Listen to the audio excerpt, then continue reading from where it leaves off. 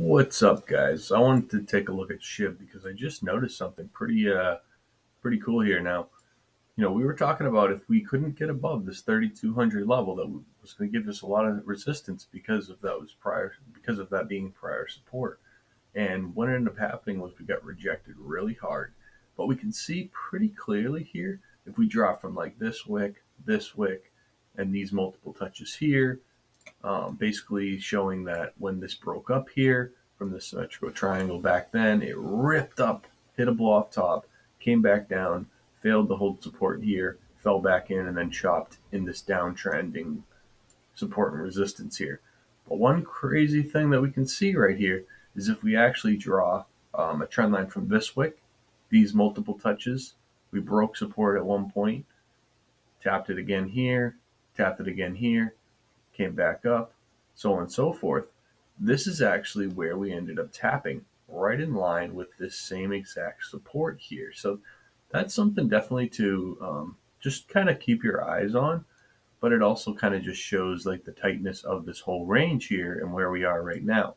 But on the other flip side is we had this support here, this yellow line that I drew in that we caught a support bounce off of around here when I was going long right in this range here of 2650. Um, we can see that that same support line, we came down, we touched and consolidated on a couple times, and then we wicked below a few times over in this range here down to this 2300, which is what I was saying we could end up wicking down to, but I didn't really think we would get as low as we did. That's pretty wild, but it kind of just is cool to see how this could have been something that we could have caught if we were actually looking at this downtrending resistance or support, which I wasn't actually looking at. However, this just shows that right now we're having a very nice rip off of this line here, but we still have this resistance at the 2543 to keep our eyes on, and it could come back and reject off of that.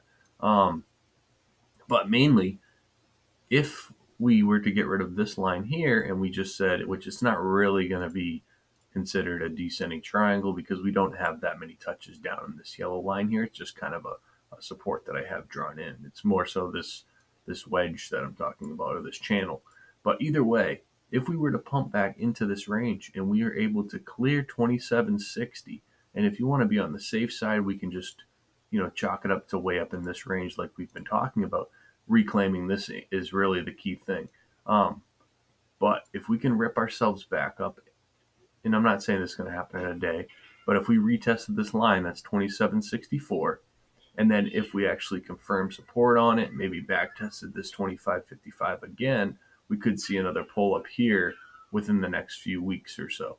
Um, but if we broke and recontrolled this 3300 area, then we're talking about something different. But just keep an eye on it. This could just be a you know fake rally up that gets rejected, and then you just continue in that channel. So just draw this channel, and this will kind of give us an idea of where the bottom touches could be.